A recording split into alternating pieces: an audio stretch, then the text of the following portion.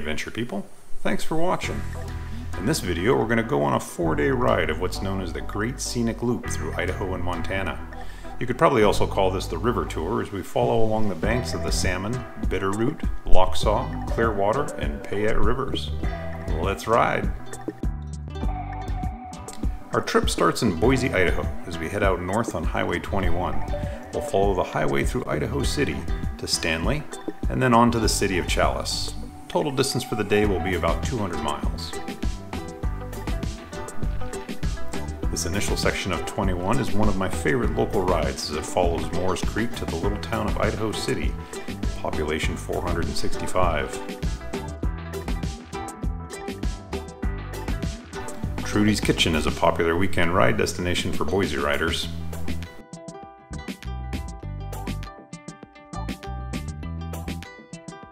Past Idaho City, we continue up Highway 21, which is also known as the Ponderosa Pine Scenic Byway, through the Boise National Forest to Moores Creek Summit at just over 6,000 feet.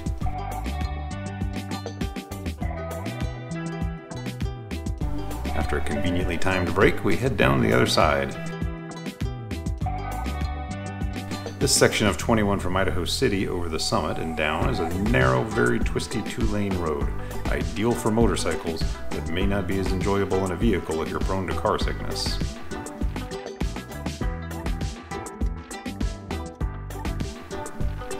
I descend down into the teeny town of Lowman and head northeast along the banks of the South Fork of the Payette River, which is a popular rafting destination.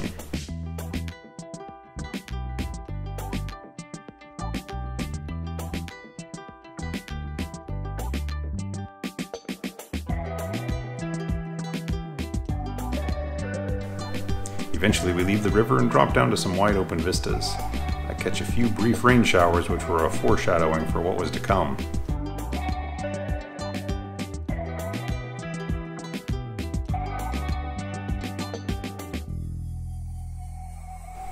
Eventually, I catch the first glimpses of the Sawtooth Mountain Range. These views have to rank in anyone's top five most beautiful mountains. There are 57 peaks in this range over 10,000 feet high. Much of the Clint Eastwood film Pale Rider was filmed here, along with several commercials.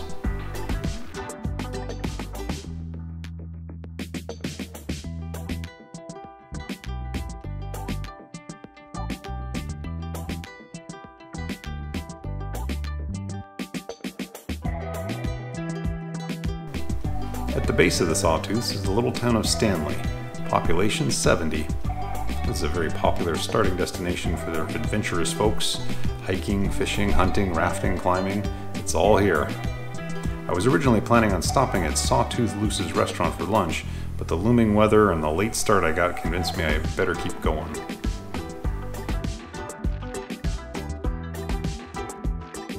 From Stanley, we turn north onto Highway 75. This is the headwaters of the mighty Salmon River, which will be our companion for much of the rest of the trip. Highway 75 is also known as the Salmon River Scenic Byway. The initial part of this section looks like much of what we've seen, heavily forested canyons following along the river, but soon the geology changes and we see more sparse rocky landscapes. Beautiful rock outcroppings show up around every corner.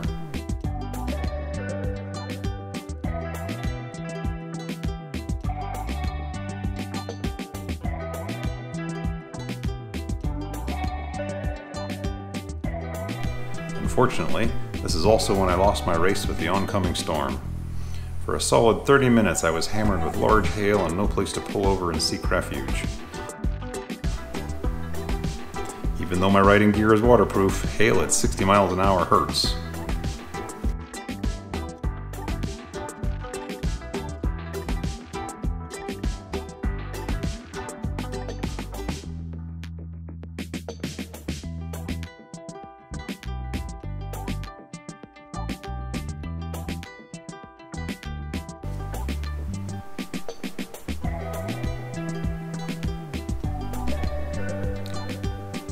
Reaching the end of the scenic byway, we turn onto Highway 93 and drive into Challis, Idaho, population 1,000, and our stop for the night. It turned out it was prime rib night at the Village Inn Motel, which is a huge win since I hadn't eaten since this morning. A good day riding. The next day,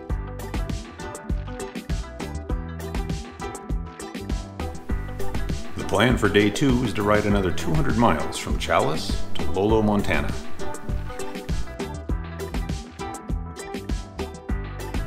North up Highway 93 following the Salmon River. Many more beautiful vistas and virtually no other traffic. I rode a long time without seeing another car.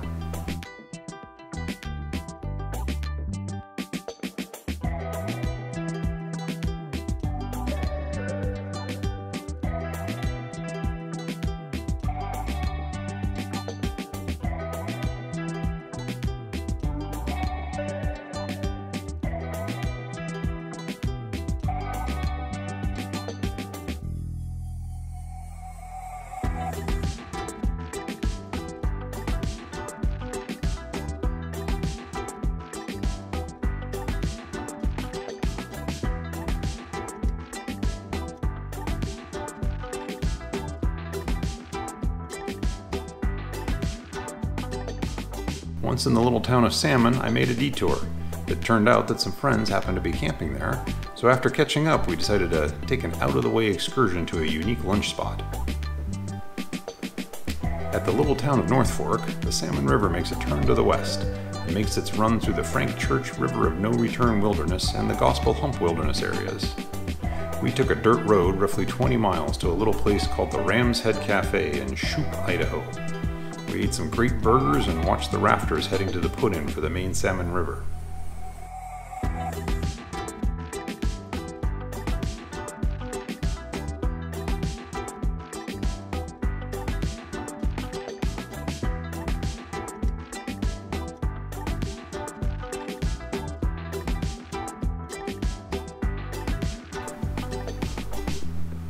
After lunch, we parted ways and I continued north into Montana.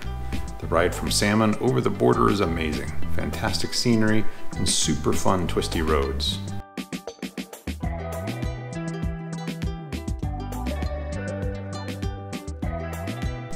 Eventually I got to the town of Darby, Montana. If I do this ride over again, this is where I'd stay. It seems like a very cute little town with plenty of exploring to do. I continued on to the town of Lolo, which turned into a bit of a freeway slog. Lolo itself wasn't terribly inspiring.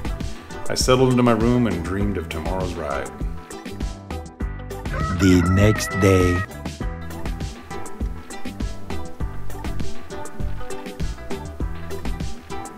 Day 3's ride was pretty much the point of the entire trip. Today's route follows Highway 12 back into Idaho to the town of Kamiah.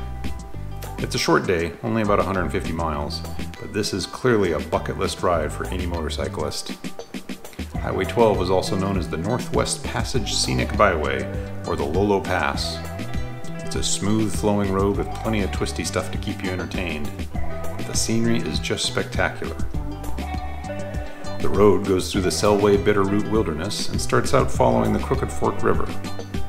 It eventually turns into the beautiful Lochsa River.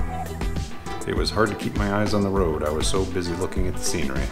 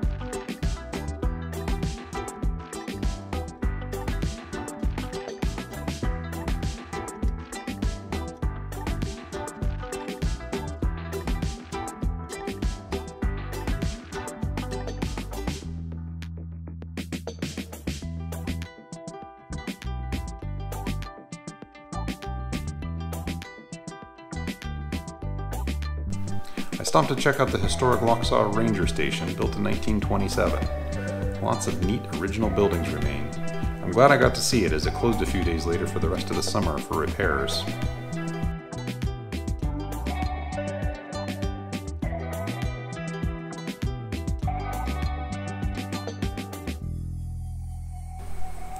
Mile after mile of spectacular views and motorcycle nirvana Eventually, the Selway River joins the Lochsa and becomes the middle fork of the Clearwater River. I follow that to the brown rolling hills that mark the edge of the wilderness to the town of Kamiah.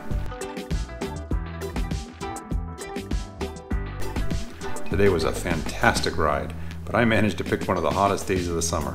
At 100 degrees, I was cooked. I retreated to my air conditioned room and rested for the final day tomorrow. The next day. After a tasty breakfast provided by the motel, I backtracked a bit to Highway 13, which took me to Grangeville and Highway 95 and my eventual destination of McCall, Idaho.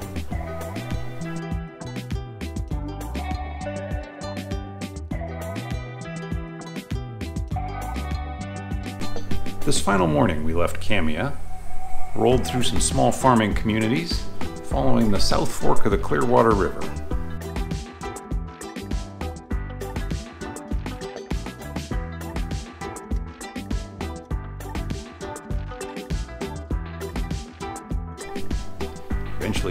Harpster Grade, a steep, windy, twisty climb up to a high plateau. Crossing that plateau, we enter Grangeville. Population 3,200.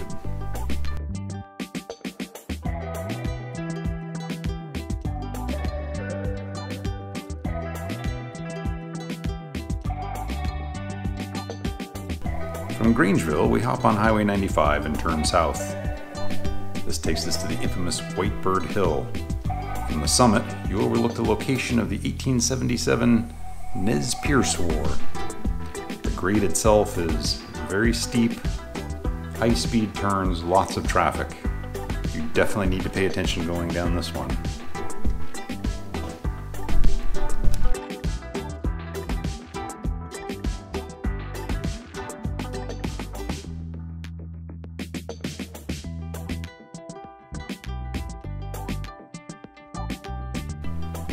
At the bottom, I ran into our old friend, the Salmon River.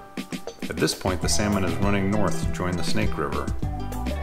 The canyons are very volcanic and rocky. The river is at least three times bigger than it was when we last saw it.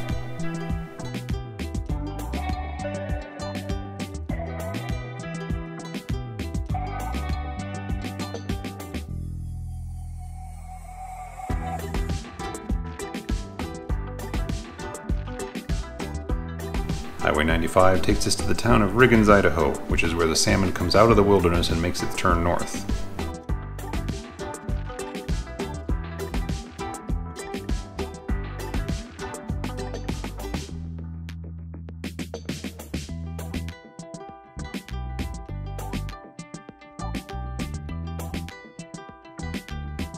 An enjoyable ride from Riggins along the Little Salmon River, crossing the 45th parallel to the town of New Meadows.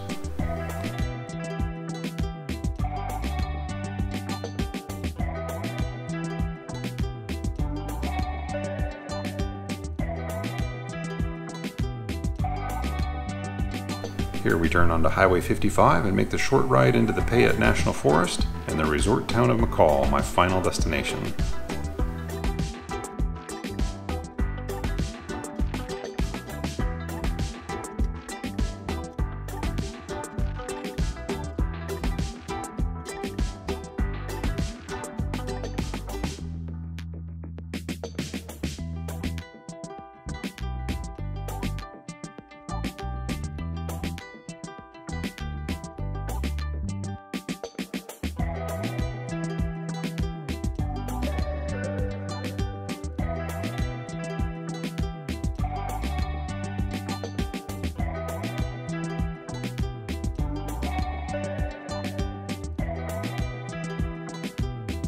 Hope you enjoyed this little tour of my state. If you did, please give it a thumbs up and consider subscribing. Until next time, go out and find an adventure.